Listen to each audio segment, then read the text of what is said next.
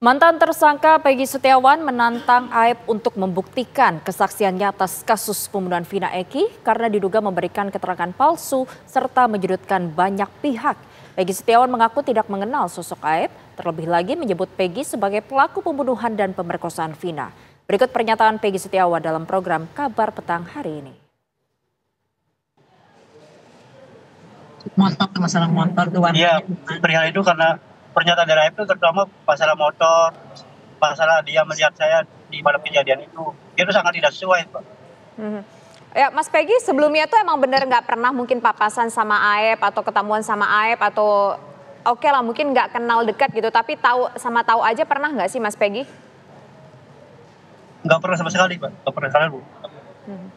Tapi seperti ini Mas Peggy, soal motif kan, karena pernyataan dari Aep ini cukup fatal, Mas Peggy. Ketika yeah. Ada motif motifnya uh, Peggy ini melakukan pembunuhan, pemerkosaan ini dan ternyata semuanya tidak terbukti. Peggy tahu motifnya dari Aib ini apa? Nah, jadi saya bingung karena saya kan lagi di Bandung lagi kerja. Jadi bingung saya dia kayak bagaimana gitu. Sementara hmm. saya ada di kerja di Bandung. Hmm. Bikin rumah. Saya bisa bikin saya bilang seperti itu. Hmm.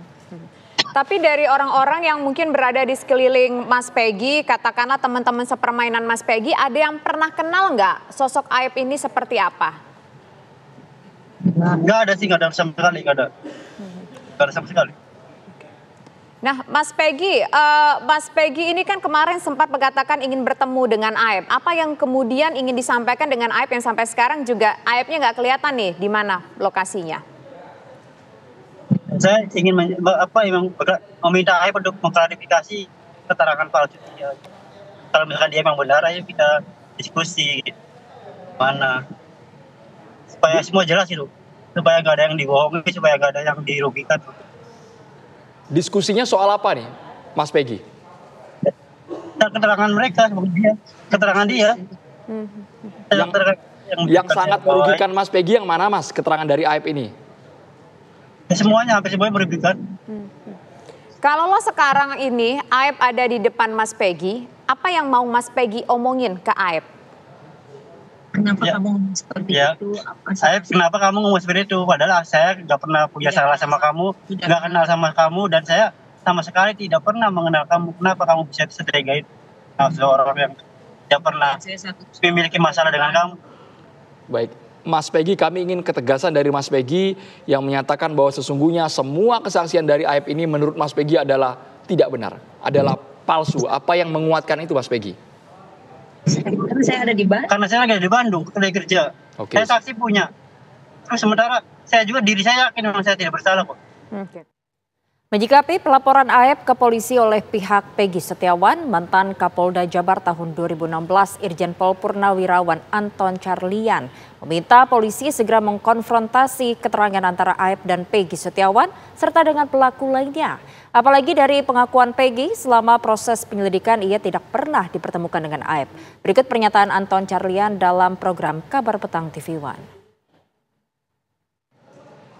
Baik, kita ke Pak Anton Carlian, Pak Anton Carlian bagaimana ini agar polisi cepat memproses laporan dari pihak Peggy Setiawan agar Aib ini segera dikonfrontir pernyataan kesaksiannya yang dianggap keliru oleh pihak Peggy? Saya sangat setuju bahwa e, berita acara Aib saat itu apa yang dikatakan. Nah itu harus diurut satu persatu. Nah kemudian juga di samping diurut satu persatu pun juga nanti bukan hanya Aib saja, tetapi kesaksian-kesaksian yang lain, terutama yang enam. Dan setelah itu pun juga saya sangat setuju juga bahwa itu ini harus dikonfrontir. Dikonfrontir, dilihat fotonya, betul enggak waktu berpapasan ini melihat orangnya ini, aib yang ini. Kalau tidak ya katakan tidak, jangan mencelakakan orang lain. Hmm. Kalau iya ya katakan iya. Hmm. Termasuk juga karena ini yang e, istilahnya itu me, men, me, apa namanya itu menyatakan bahwa Peggy Perong ini adalah salah satu tersangka di dalam hal ini bukan satu saksi tapi ada enam saksi keenam enamnya juga demikian namun di sini akan sangat menarik kalau dia keke misalkan bahwa memang benar ini. Kan kita juga tidak bisa memaksakan. Ini akan jadi sebuah sebuah pertanyaan gitu. Kenapa demikian? Makanya di dalam hal ini ya Polri pun juga harus segera untuk ya mengkonfrontir satu dengan yang lain terutama yang enam ini sendiri siapa sebetulnya Peggy Perong yang disebutkan sesuai dengan yang ada di dalam peristiwa tersebut. Oke. Okay. Tapi kalau untuk yang delapan orang, mungkin ini untuk PK-nya itu ya harus ditemukan bukti yang baru.